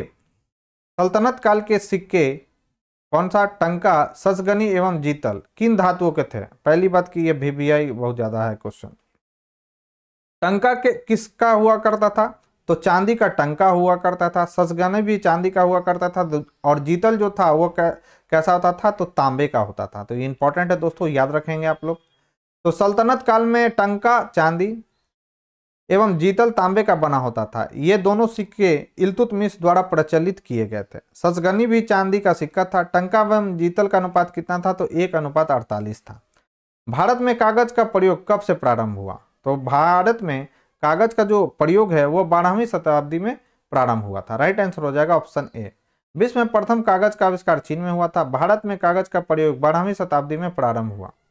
आशुतोष संग्रहालय कलकत्ता में 1105 ईस्वी का पेपर संरक्षित किया गया है, जिसका शीर्षक, पंचरक्षा है यह भारत में कागज़ का सबसे प्राचीन प्रमाण है। नेक्स्ट है तबकाते नासरी का लेखक कौन है? पहले भी हम लोग डिस्कस कर चुके हैं। मिनहाज उस सिराज जो है वह तबकाते नासरी के लेखक हैं। इंपॉर्टेंट पॉइंट डिस्कस करते हैं।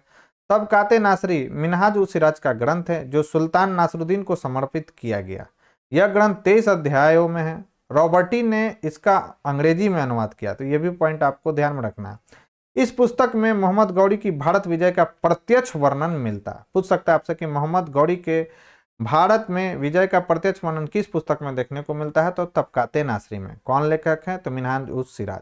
ज्ञातव्य है कि मिनहाज उज, मिनहाज प्रथम इतिहासकार थे जिसने यह कहा था कि कुतुबुद्दीन ऐबक ने अपने नाम की मुद्राएँ प्रसारित की और खुतबा पढ़वाया।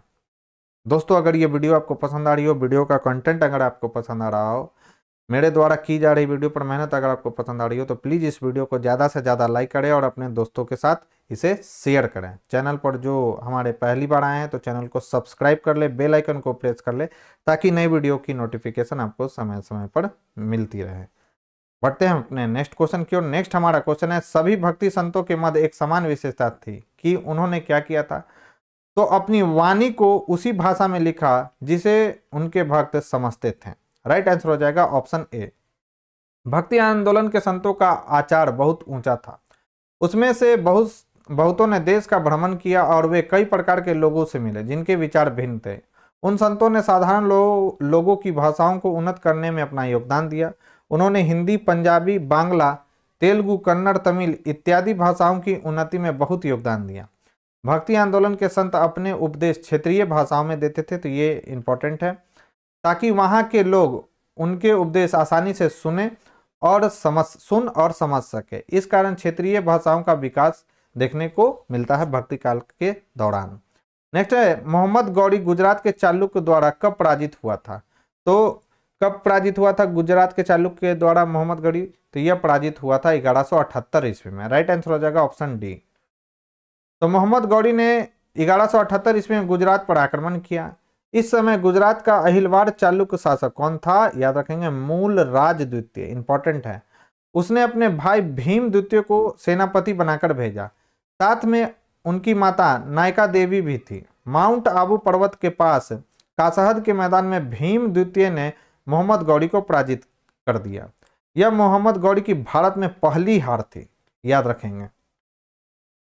निम्नलिखित में से किस युद्ध में मुख्य विरोधियों का सही उल्लेख नहीं किया गया। हल्दी घाटी का युद्ध महाराणा प्रताप और अकबर के बीच में हुआ था, बिल्कुल सही है। पानी का प्रथम युद्ध जो लड़ा गया था 1526 ईस्वी में, बाबर और इब्राहिम लोधी के बीच लड़ा गया था यह भी सही है। पानीपत का जो द्वितीय युद्ध है, वह किसके बीच लड़ा गया था? तो अकबर और हेमू के बीच। पंद्रह ईस्वी में अकबर और किसके बीच? हेमू के बीच। कब लड़ा गया था? तो यह लड़ा गया था पंद्रह में। ठीक है? तो गलत कौन सा हो गया? सी हो गया।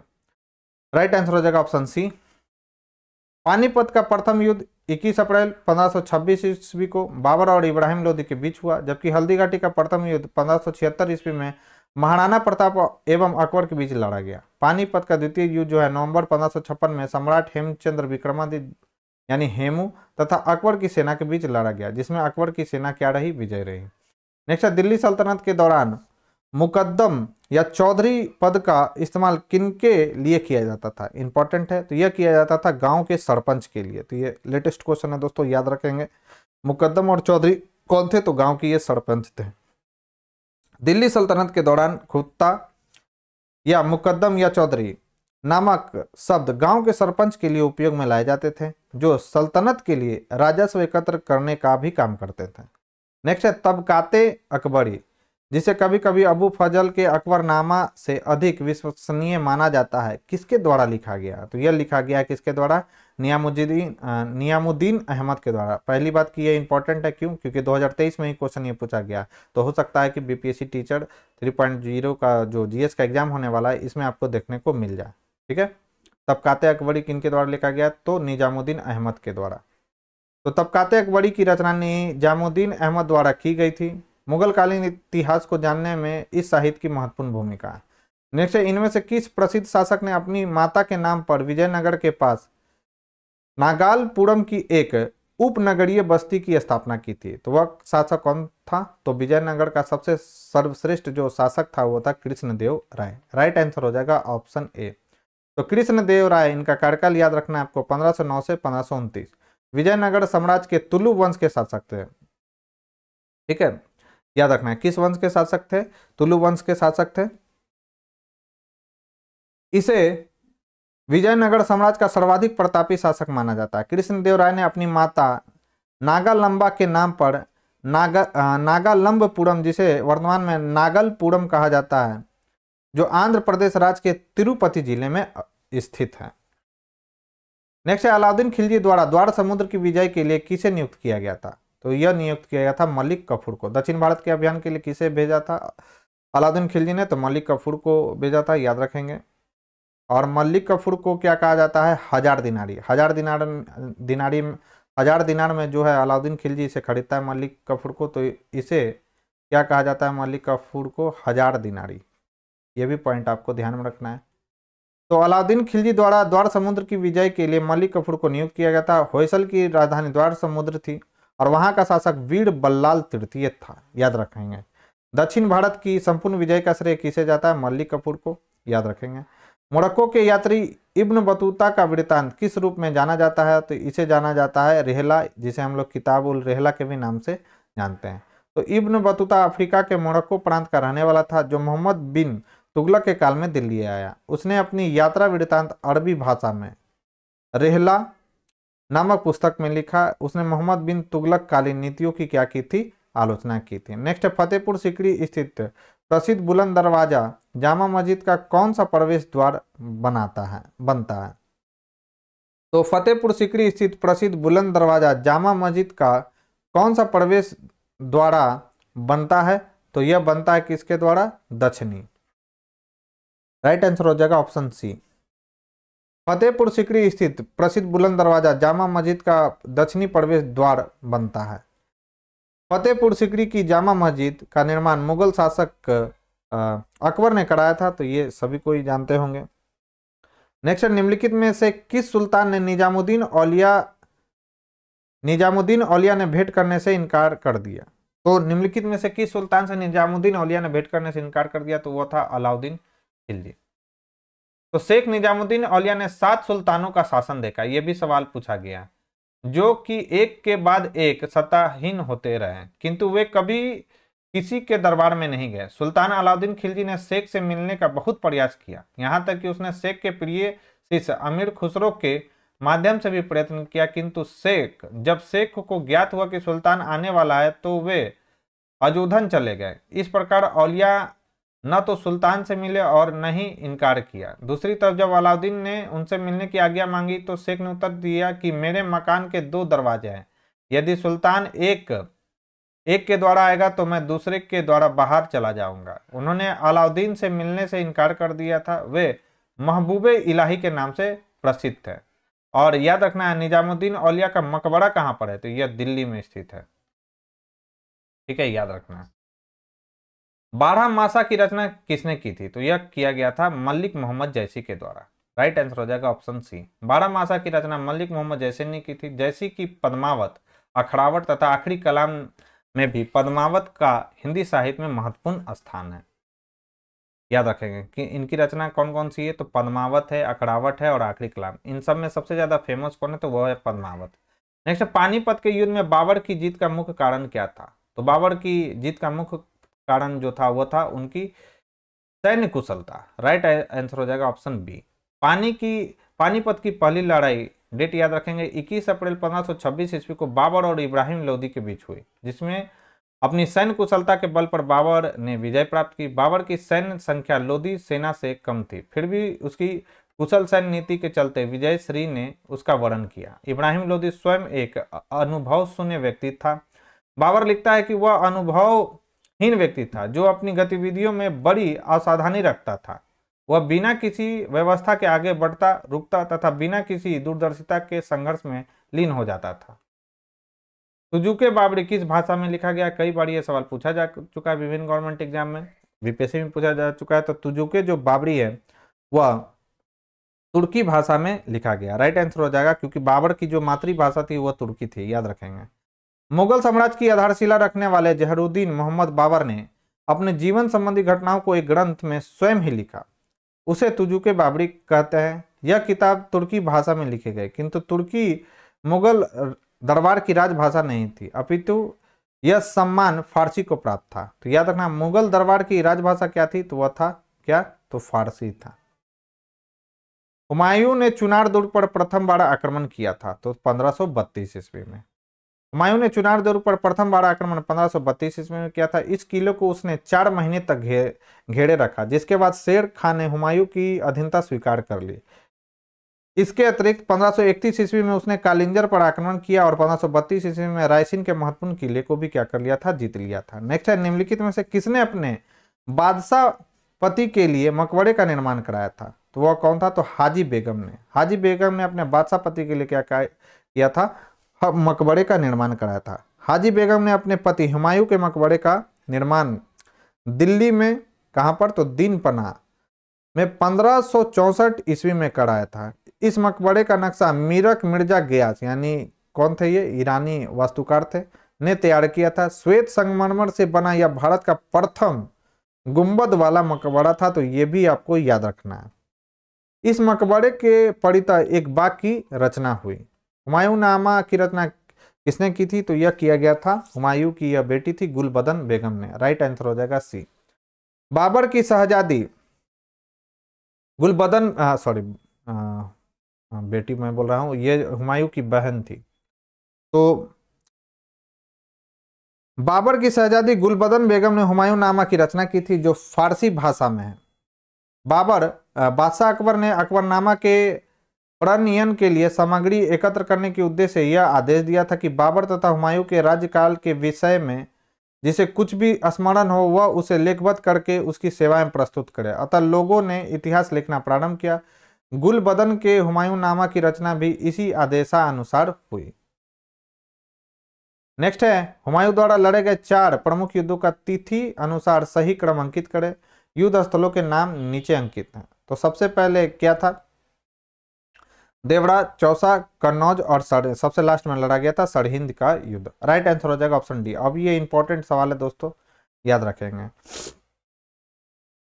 हुमायूं द्वारा लड़े गए चार प्रमुख युद्धों का क्रम इस प्रकार है। देवड़ा, चौसा कनौज एवं सरहिंद पंद्रह ईस्वी में उसने गोमती के तट पर स्थित दौड़ा, जिसे देवड़ा कहा जाता है। नामक स्थान पर अफगान विद्रोही को परास्त किया। 26 जून पंद्रह ईस्वी को चौसा के युद्ध में हुमायूं को शेरशाह ने पराजित कर दिया। इसी युद्ध में निज़ाम नामक भिस्ती ने हुमायूं की जान बचाई, याद रखेंगे। हुमायूं के विरुद्ध चौसा की इस विजय से शेर खा की शक्ति एवं प्रतिष्ठा दोनों में वृद्धि है उसने शेर शाह की पदवी धारण की, याद रखना। है जो शेर शाह था शेर शाह की पदवी किस युद्ध में विजयी होने के बाद धारण करता है तो याद रखना है, चौसा के युद्ध में विजयी होने के बाद।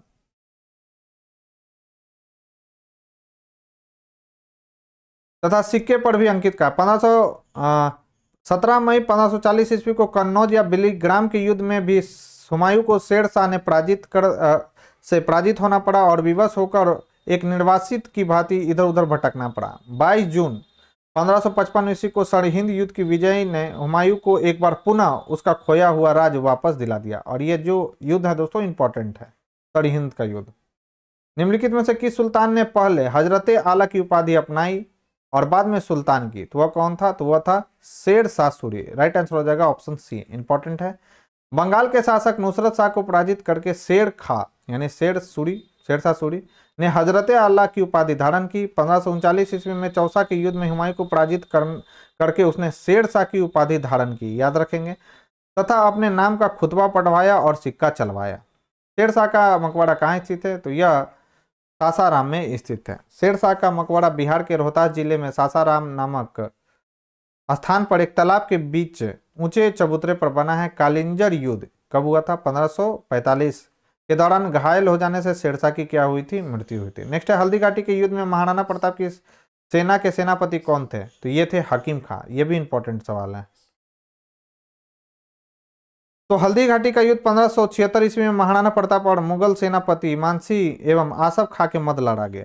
राजपूत योद्धाओं के अलावा राणा की सेना के अग्रभाग का नेतृत्व अफगान की एक टुकड़ी के साथ हकीम खां सुर कर रहा था। राणा की सेना में भीलों की भी एक छोटी सी टुकड़ी शामिल थी। यह राणा की मुगलों के साथ आमने सामने की आखिरी मुठभेड़ थी। आगे उसने छापामार युद्ध का सहारा लिया था। नेक्स्ट निम्नलिखित में से किस मुस्लिम शासक ने तीर्थ यात्रा कर समाप्त कर दिया था? तो वह कौन था? अकबर। राइट आंसर हो जाएगा ऑप्शन डी मुगल शासक व्यवस्था को स्थापित करने का श्रेय अकबर को ही है। उसकी केंद्रीय शासन व्यवस्था तथा बादशाह के पद और अधिकारों एवं कर्तव्यों की व्याख्या, उसका प्रांतीय शासन, उसकी लगान व्यवस्था, उसकी मुद्रा व्यवस्था, उसकी मनसबदारी व्यवस्था आदि सभी को उसके समय में सफलता प्राप्त हुई और वह उसके उत्तराधिकारियों के लिए आधार स्वरूप बनी। अकबर प्रथम मुस्लिम शासक था जिसने हिंदू और मुसलमानों को निकट लाने का प्रयास किया। अपनी उदारता धार्मिक नीतियों के अंतर्गत उसने पंद्रह में दास प्रथा, याद रखें, सारा डेट अकबर से रिलेटेड है। पूछ सकता है, अकबर ने दास प्रथा को कब समाप्त किया? तो पंद्रह ईस्वी में। तीर्थ यात्रा कर को कब समाप्त किया था? तो पंद्रह ईस्वी में। जजिया कर को कब समाप्त किया? तो पंद्रह सौ ईस्वी में। पुनः जजिया कर को कौन लगाता है? तो पुनः जजिया कर को लगाने वाला शासक कौन था? मुगल शासक कौन था? तो वो था औरंगज़ेब। याद रखेंगे। अपने सामाजिक सुधार के अंतर्गत उसने बाल विवाह सती प्रथा को रोकने का प्रयत्न किया। अतः अकबर की लोकप्रियता के कारण, कारणों में उपयुक्त चारों बिंदुओं को सम्मिलित किया जा सकता है। नेक्स्ट है, अकबर ने बंगाल तथा बिहार को मुगल साम्राज्य में मिलाया। तो यह मिलाया गया था पंद्रह ईस्वी में। राइट आंसर हो जाएगा सी पंद्रह सौ बहत्तर ईस्वी में सुलेमान काराकानी की मृत्यु के बाद उसका पुत्र दाऊद खा गद्दी पर बैठा। दाऊद खां ने अपने को स्वतंत्र घोषित कर पटना के मुगल किले पर आक्रमण किया। अकबर ने मुनीम खां को दाऊद पर आक्रमण करने तथा बिहार को जीतने का आदेश दिया। मुनीम खां ने दाऊद को एक युद्ध में पराजित किया, याद रखना है। पंद्रह ईस्वी में बिहार पर मुगलों का आधिपत्य हो गया। पराजित होने के बाद दाऊद खां बंगाल भाग गया, किंतु 12 मार्च 1576 को टोडरमल मुजफ्फर खां एवं हुसैन कुली खां ने मिलकर दाऊद को पूर्णतः पराजित कर दिया। इस प्रकार पंद्रह इसमें बंगाल तथा बिहार को पूर्ण रूप से मुगल साम्राज्य में क्या कर लिया गया, मिला लिया गया। नेक्स्ट भारत में किसने शासनकाल में इंग्लिश ईस्ट इंडिया कंपनी का गठन हुआ? तो वह किसके शासनकाल में हुआ था? तो अकबर के शासनकाल में 1600 ईस्वी में, ठीक है? तो दिसंबर पंद्रह में लंदन में कुछ व्यापारियों ने लॉर्ड मेयर की अध्यक्षता में एक सभा का आयोजित का आयोजन किया। इसमें पूर्वी द्वीप समूह के साथ व्यापार की योजना तैयार की गई। इन व्यापारियों ने पूर्व के देशों के साथ व्यापार करने के आशय से 1600 ईस्वी में एक कंपनी का गठन किया। इसका नाम government and company of merchants of London trading into the East Indies रखा गया। इसे जॉन कंपनी के भी नाम से जाना जाता है। इंपॉर्टेंट सवाल, दोस्तों, यस इंपॉर्टेंट फैक्ट याद रखना। जॉन कंपनी के नाम से किसे जाना जाता है? ईस्ट इंडिया कंपनी को। इस दौरान भारत का बादशाह कौन था? तो अकबर था। आईने अकबरी किनके किसके द्वारा लिखी गई? तो आईने अकबरी लिखा गया अबू फजल के द्वारा। आईने अकबरी अकबर के नौ रत्नों में से एक अबू फजल द्वारा लिखी गई है। यह अकबरनामा के तीन भागों में से तीसरा भाग है। इसमें अकबर कालीन शासन व्यवस्था का आधिकारिक वृत्तांत है। यह भी इंपॉर्टेंट है।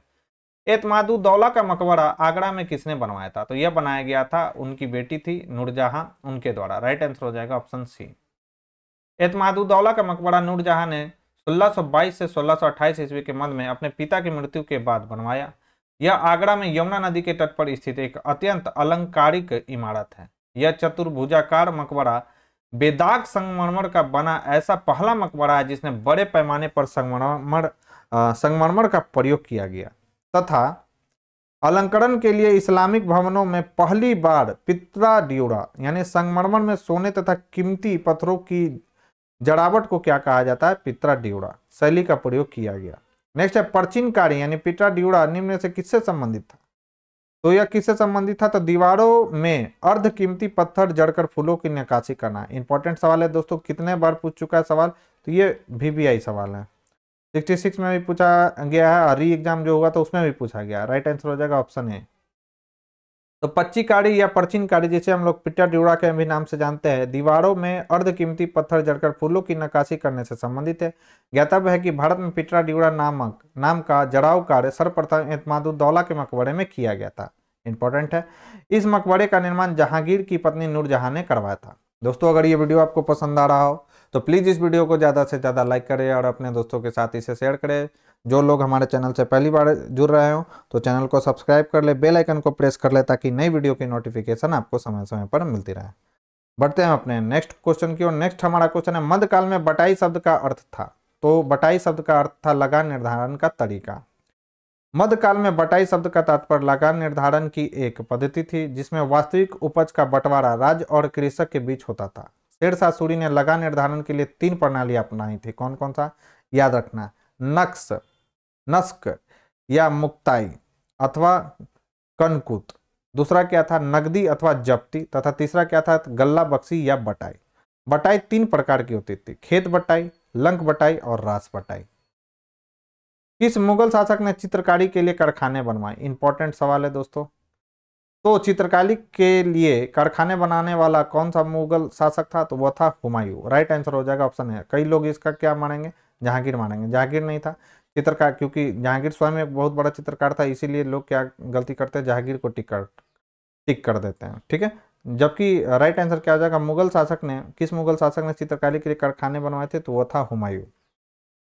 हुमायूं ने चित्रकारी के लिए कारखाना जो है, एनसीईआरटी के अनुसार निगार खाना जब भी जबकि अन्नू मनुजा की पुस्तक, a, critical study of Mughal painting during Akbar Akbar reign के अनुसार तस्वीर खाना। बनवाया था जो उसकी पुस्तकालय से जुड़ा था। ज्ञातव्य कि बिहार लोक सेवा ने अपने उत्तर पथ में इस प्रश्न का उत्तर क्या माना है? बी माना। यानी अकबर को माना है, जो कि बिल्कुल गलत है।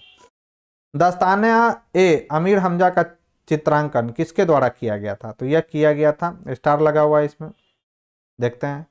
अकबर ने अपने ग्रंथों को चित्रित करवाया था। इसमें सर्वप्रथम दस्ताना ए अमीर हमजा है। यह हुमायूं के काल में चित्रित होने प्रारंभ हुआ था और अकबर के शासनकाल में पूर्ण हुआ। बदायूनी और शाह नवाज़ खा के अनुसार इसे तैयार करने में लगभग पंद्रह वर्ष लगे थे और पहले मीर सैयद अली तथा बाद में अब्दुल समद की देखरेख में प्राय पचास चित्रकारों ने इसे तैयार करने में हिस्सा लिया।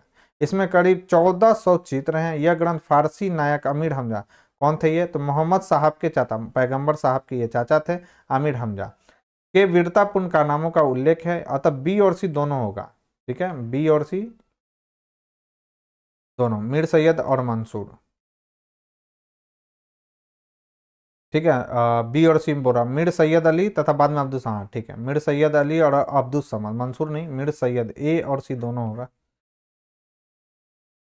यूरोपीय चित्रकारी का प्रवेश किसके दरबार में हुआ? तो यह हुआ था अकबर के दरबार में। यह भी इंपॉर्टेंट सवाल है।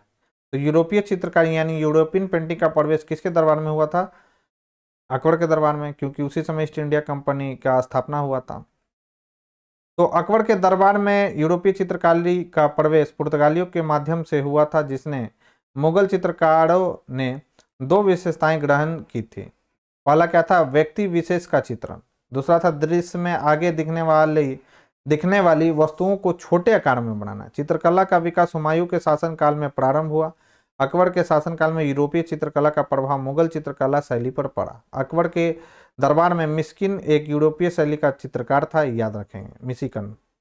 अकबर के समय दसवंत अग्रणी चित्रकार था। जहांगीर के शासनकाल को मुगल चित्रकला का स्वर्णयुग कहा जाता है।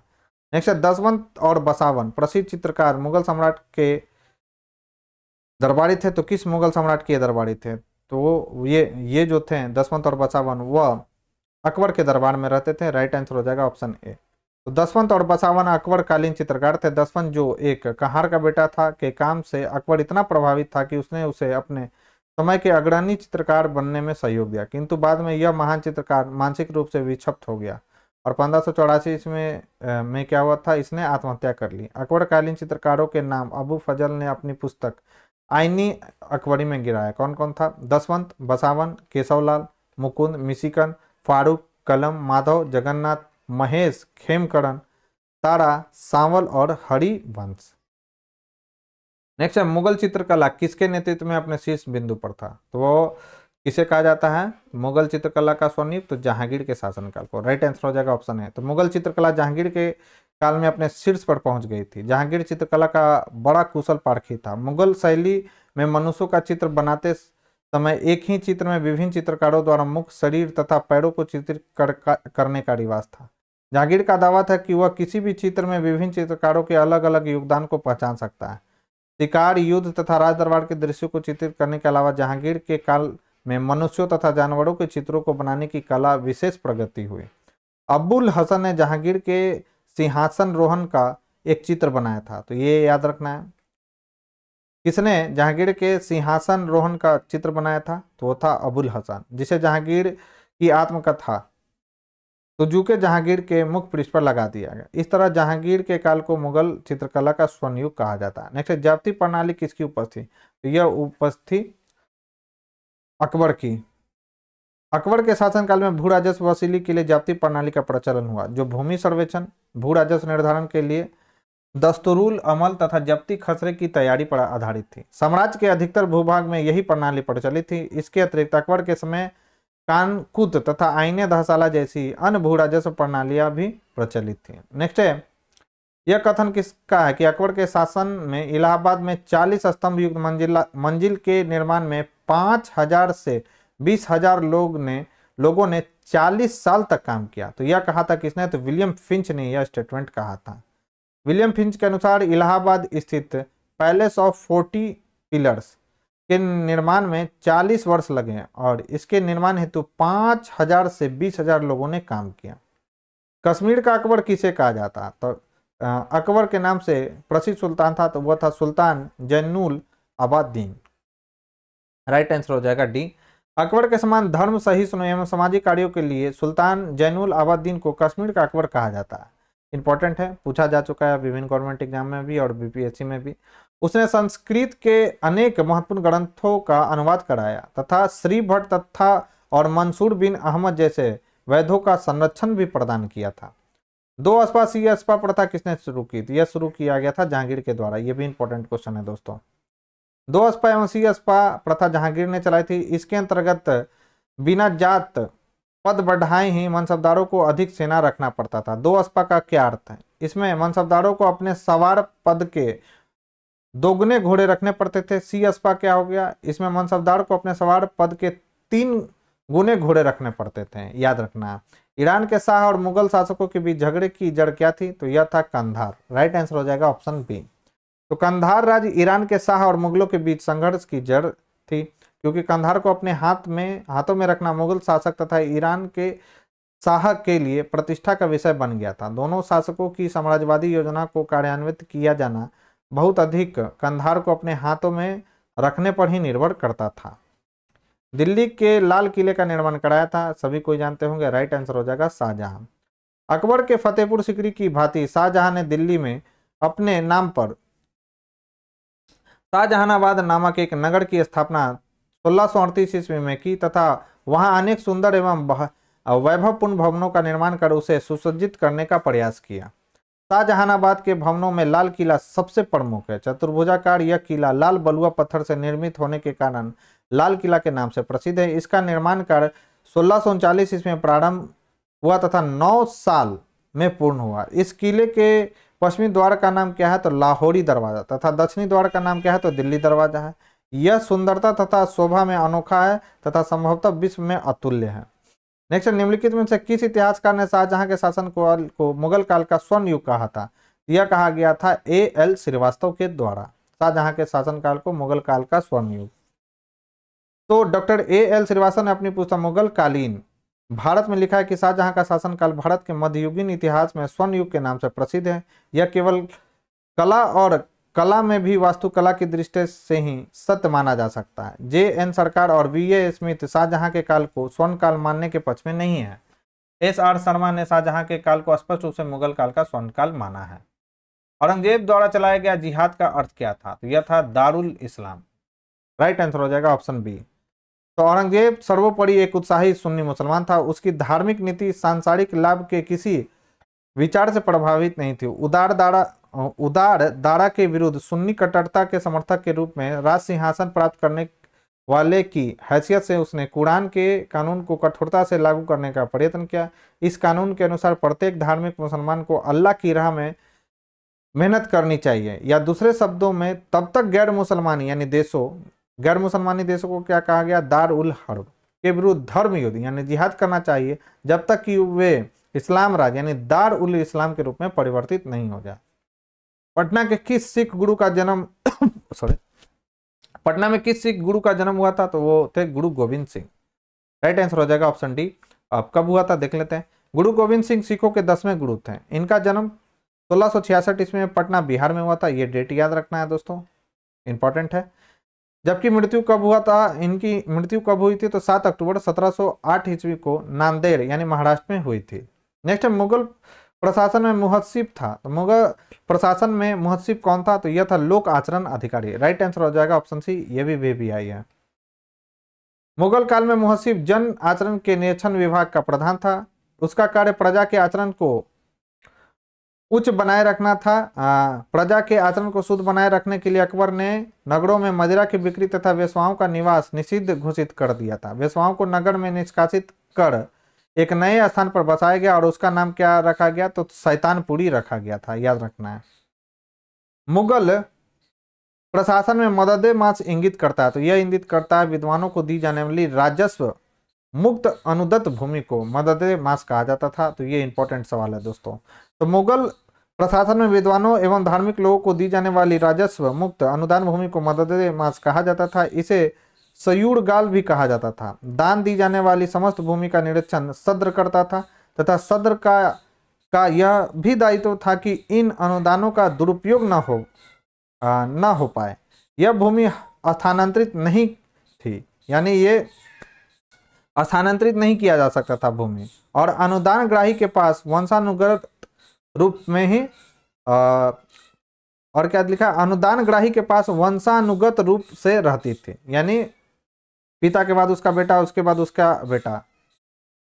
मयूर सिंहासन पर बैठने वाला अंतिम मुगल सम्राट कौन था? तो वह था मोहम्मद शाह। राइट आंसर हो जाएगा बी शाहजहां द्वारा बनाए गए प्रसिद्ध मयूर सिंहासन पर बैठने वाला अंतिम मुगल शासक मोहम्मद शाह था, क्योंकि उसके काल में नादिर शाह ने सत्रह ईस्वी में क्या किया था? भारत पर आक्रमण किया था। कब? सत्रह में। और करनाल युद्ध में मुगल सेना को पराजित किया था। समकालीन लेखक आनंद राम मुखलिस के अनुसार नादिर शाह अपने साथ साठ हज़ार रुपए, कई हज़ार असरफियाँ एक करोड़ रुपए का सोना, पचास करोड़ के जहवरात, कोहिनूर एवं तख्ते ताव जिसे हम लोग मयूर सिंहासन के नाम से जानते हैं, को ईरान ले गया।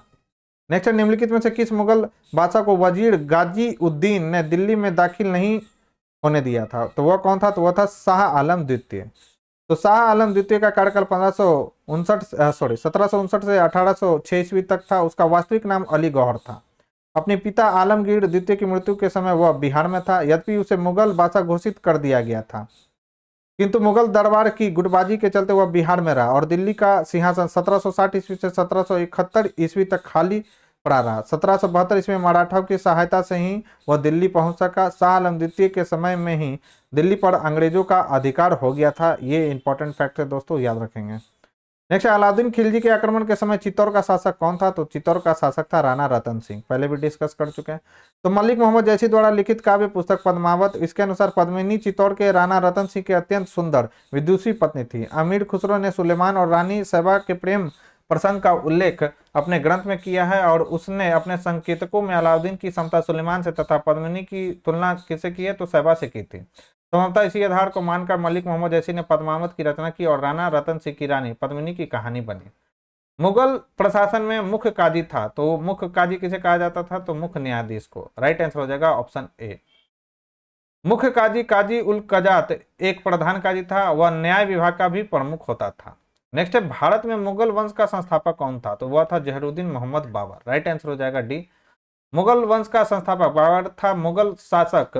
वास्तव में तुर्की के चुगताई नामक शाखा के थे, ये याद रखना है। इस शाखा का नाम प्रसिद्ध मंगोल नेता चंगेज खा के द्वितीय पुत्र के नाम पर पड़ा था, जिसके अधिकार में मध्य एशिया तथा तुर्की का देश तुर्किस्तान था। नेक्स्ट है, खिलजी वंश का प्रथम शासक कौन था? तो यह था जलालुद्दीन खिलजी। राइट आंसर हो जाएगा ऑप्शन है तो जलालुद्दीन खिलजी ने बारह सौ नब्बे ईस्वी में खिलजी वंश की स्थापना की। उसने अपना राज्य अभिषेक बारह सौ नब्बे ईस्वी में कैकुबाद द्वारा बनाए गए अपूर्ण किलो खड़ी, जिसे किलू गढ़ी के भी नाम से हम लोग जानते हैं, के महल में करवाया था। डॉक्टर ए एल श्रीवास्तव के अनुसार जलादुन खिलजी दिल्ली का प्रथम तुर्की सुल्तान था, जिसने उदार निरंकुश वाद के आदर्श को क्या किया था, सामने रखा। नेक्स्ट है, छब्बीस जून पंद्रह को शेरशाह और हुमायूं के बीच युद्ध हुआ। युद्ध कहाँ लड़ा गया? तो यह लड़ा गया था चौसा के मैदान में। राइट आंसर हो जाएगा ऑप्शन डी तो चौसा की लड़ाई 26 जून पंद्रह को शेरशाह सूरी और मुगल शासक हुमायूं के बीच हुआ। शेरशाह सूरी ने हुमायूं को क्या किया था? हराया और फरीद अल दिन शेर शाह की उपाधि धारण की। नेक्स्ट अली का बिहार अभियान किस वर्ष समाप्त हुआ? तो यह समाप्त हुआ था पंद्रह में। तो मुगल सम्राट अली गौहर और ये आज के जो और ये जो है दोस्तों, आज के डिस्कशन का हमारा लास्ट भी सवाल है। तो अली गौहर जो है, बिहार अभियान किस वर्ष अली गौहर का बिहार अभियान किस वर्ष समाप्त हुआ था? तो सत्रह ईस्वी में इंपॉर्टेंट फैक्ट्स क्या है? तो मुगल सम्राट अली गौहर ने पंद्रह, सत्रह ईस्वी में बिहार पर आक्रमण किया और पटना स्थित अंग्रेज़ फैक्ट्री में राज अभिषेक कराया। तो याद रखना है कि किस मुगल बादशाह ने पटना स्थित अंग्रेज़ी फैक्ट्री में स्वयं राजाभिषेक करवाया था? तो वह था अली गौहर यानी शाह आलम द्वितीय भी से नाम से जाना जाता है। और इसने इसके समय में ही पानीपत का जो याद रखना आपको क्या, कि अलीगढ़ के समय में ही क्या हुआ था, यानी पानीपत का तृतीय युद्ध हुआ था सत्रह ईस्वी में और बक्सर का युद्ध हुआ था सत्रह ईस्वी में। तो ये पॉइंट आपको ध्यान में रखना है। तो दोस्तों, ये थी हमारी आज की डिस्कशन तो यह डिस्कशन आपको कैसा लगा, मुझे कमेंट बॉक्स में लिखकर ज़रूर बताएँ दोस्तों। साथ ही साथ अगर ये वीडियो पसंद आई हो दोस्तों तो प्लीज़ इस वीडियो को ज़्यादा से ज़्यादा लाइक करें। और अपने दोस्तों के साथ इसे शेयर करें। जो लोग हमारे चैनल से पहली बार जुड़े हैं तो चैनल को सब्सक्राइब कर लें बेल आइकन को प्रेस कर लें ताकि नई वीडियो की नोटिफिकेशन आपको समय समय पर मिलती रहे। तो आज के लिए बस इतना ही दोस्तों। Thank you